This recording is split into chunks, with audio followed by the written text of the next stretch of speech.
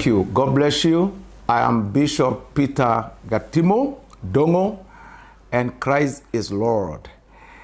Uh, the Lord called me into his ministry to serve him back in 1981.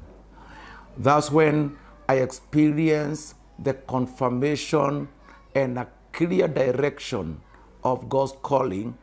And uh, at such a time, that's when the Lord led me to Apostolic Faith Church when I was living and serving God in Murang'a District, Murang'a County in Kenya.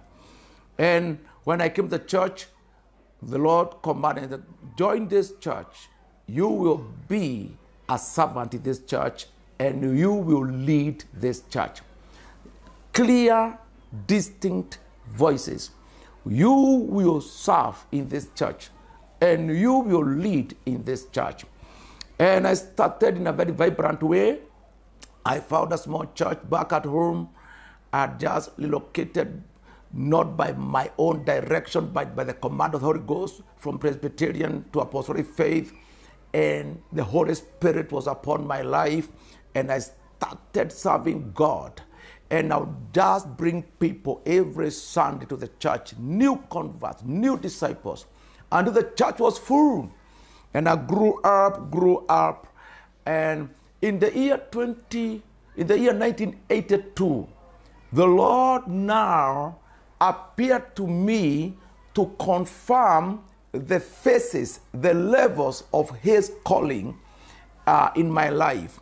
And one of the things that God brought to my life is a big, big church in an urban center that will be able to reach out to so many places, so many places with programs of revival, gifts of the Holy Spirit, discipleship, social uh, programs, uh, evangelism, TV station, a place with impact.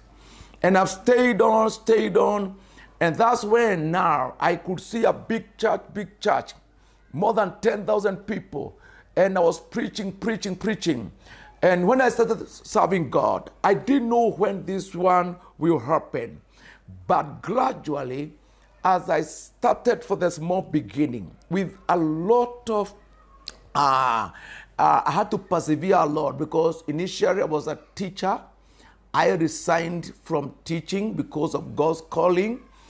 I didn't have to join a church with salary. I came out to the street of Nairobi. I remember the first time I preached, I had only five people whom, after preaching, they walked away. I didn't know what to eat, I didn't know where to stay. I could walk and walk. I did not have anybody. I didn't borrow food. I didn't borrow any transport because deep in my heart, I had a calling. I had a vision. And God appeared to me and confirmed if I trust Him, I will live and I have my God will supply to my needs according to His grace and His riches. And uh, when I grew up and grew up, and I remember later Nairobi church to be to have three churches, four churches, more churches, and uh, the church grew and grew until we relocated to Bahati, where we are now. In Bahati currently, we have a church with four big services every Sunday, an elaborate program of evangelism, discipleship, and development. And about 16 years ago, or maybe 15 years ago, I started now seeing the reality of 10,000 seater church. And I'll put it in our calendar that this is my vision 10,000 seater church in the city of Nairobi, in a prime area. I'll put it every time. I try to share that with the bishop's council because gradually I became now the bishop of the whole church in Kenya with about 500 branches, majority of which I participated in planting. And um, I would share the bishop, and I tell you, it was hard to convince them. Members accepted it, but they didn't know how can it happen. And, um, and I remember I would talk about three acres of land in the city, prime, near CBD. One acre, I'll put up a big church. One acre, it will be parking.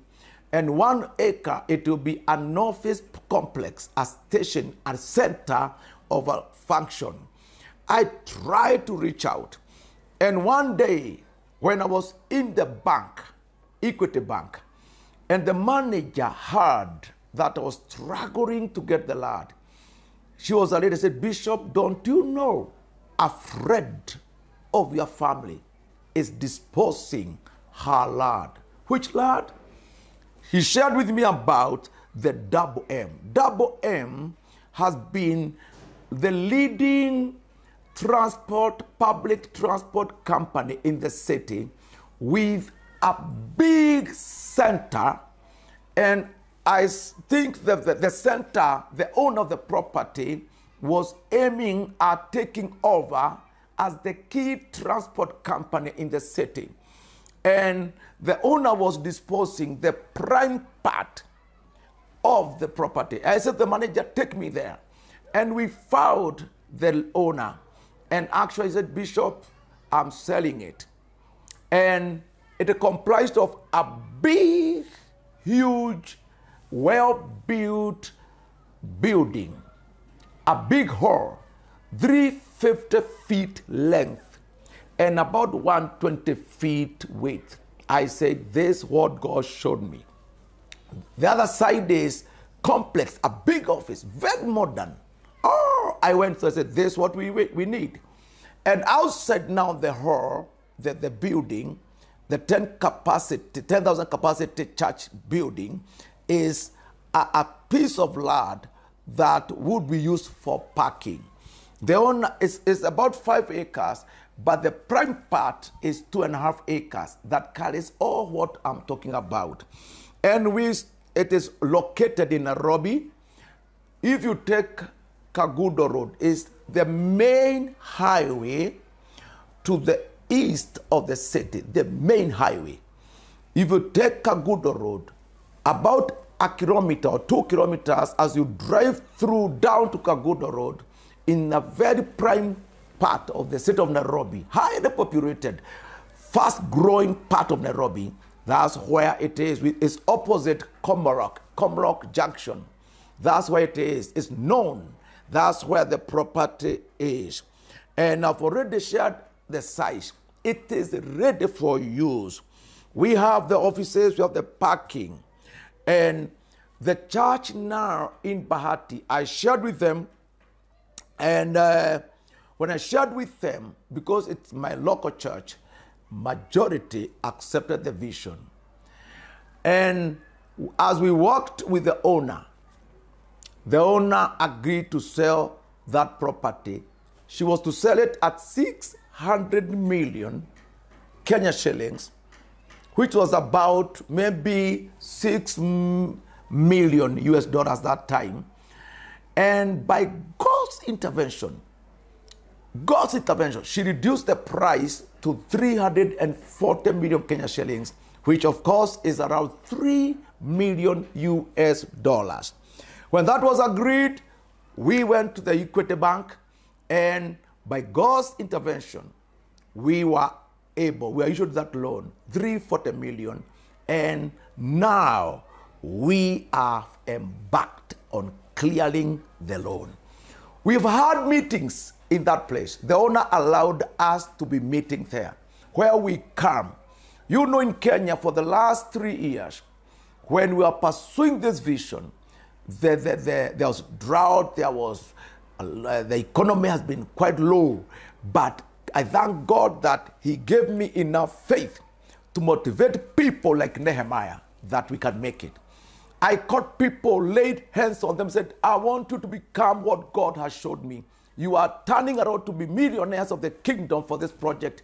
And many people agreed from apostolic faith, from outside apostolic faith, and our friends abroad, like in uh, Lakewood, Seattle, America, people like Bishop Sugar, the wife, the church, and the community leaders, Beloved Harrison, and all these friends started joining us. And so far, we've contributed allowed 130 million Kenya shillings. You know, uh, you know the bank. Uh, when you give money, they first of all take their part, the interest. So we've not paid much of the loan. So what we desire to do now is we combine efforts. We are kingdom people. We believe in God's level of power and faith. We believe in God, in His ability to do things even when circumstances are not conducive. We believe the vision of God can be effected and can become real, accomplished by God's strength. God can just give us money because we are connected to His purpose. I know very well many people who got connected to God's purpose became rich because of that purpose. Nehemiah got access to the treasure of the king because he was connected with the burden to rebuild the walls of Jerusalem. This widow in Zarephath, in the days of Elijah, she had little flour and little oil, and she said, We are preparing the last meal. I and my son, we eat and die. But when she was connected with the purpose of God, when a prophet Elijah came around, prophet said, please, first of all, prepare for me. God said, for the time there'll be drought, the container, even the bottle of oil will never dry out. We believe that anybody that will be connected to this project, because of that purpose, even if the economy, whatever status and whatever issues they are reporting, God will appoint you as a kingdom partner. You are becoming a partner with God now. And in Jesus' name, and by the anointing that God gave me, I release the strength, I release the connection, I release the power to discover this favor. I release on you the mighty hand of God to rest upon you, appoint you. And I pray to the God, God who called me to prove that this work is really his work. And now, by the grace of God, we have the account, then uh, the numbers of the account in the Equity Bank. We have it. You'll be able to read it on the screen. We have the contact numbers. You even have my number. I would like to just to know you did something, did something. I'll be praying for you because I spared a lot of time, days, days praying and fasting for the partners who have joined me, joined us in this kingdom vision. So the Lord bless you so much. In Jesus' name, welcome, become, discover, receive a renewal. Be blessed in God's way of blessing. May God bless you as He said, and the blessings will come after you and overtake you. Instead of struggle, let blessing run after you and overtake you from now because of this project. It's really a kingdom project. Very soon, we are trusting God. We are saying, like now in Kenya, if we get 2,000 people, each to give 50,000, that is 100 million. We just drop it in the account, and now the principal amount reduces. Whatever you are in America, team up, give a lot of money. Let's put it there so that next year we will clear and we invite all of you for a grand ceremony of dedicating the premises to the living God and to the revival. Welcome to 10,000 Seater Project. We are expecting that place. We'll be having three services 10,000, 10,000, 10,000. mighty harvest, prime property, great church, voice to the whole world, and the blood of Christ will prevail. The Holy Spirit will confirm the word for the glory of God. We thank God for all people so far who have joined 10,000 seater church project as partners in whichever level. May the Lord bless you, the Lord keep you, and the Lord confirm his anointing and favor in your life. God bless you. We are looking forward. I know our brothers and sisters in Seattle, America, you are planning to meet in November. Uh, I had a summer in 16th, 17th, that weekend, and I'm looking forward to meeting with you there. I trust God. God, you give me strength and cause me. I'll just be with you, to pray with you, to this blessing on you. Those who are in Kenya, we are meeting on 10th November at Kangundo Road, 10,000 seater, Komarock Junction opposite. And all those two meetings, the 10th, uh, the 10th November 2024 in Nairobi, and the following weekend in Lakewood, America, we are believing God.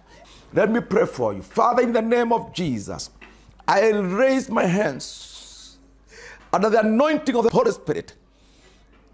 And I pray to you, Lord, that whoever is watching will discover now the great calling to become a partner with you, kingdom partner in 10,000 seater church, Kangundo Road, Nairobi, where, Lord, we want to raise millions and clear everything so that you be glorified very soon as that altar is dedicated to you for the glory of your name and for the great latter revival. Lord, bless these people. Bless these people. I rebuke Satan. I rebuke powers of darkness. I destroy limitations and declare breakthrough after breakthrough by the blood of Christ in Jesus Christ's name. Amen.